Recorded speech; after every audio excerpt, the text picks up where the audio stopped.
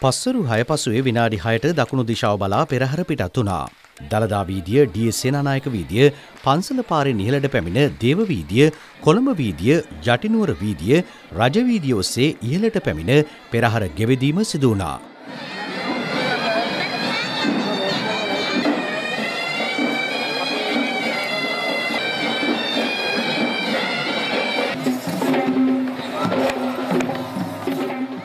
අද දිනේ පෙරහර කරඬුව වැඩම කරවීම සිදු කළේ දළදා මාලිගාවේ ඉන්දිරා ජාහස්තියයි.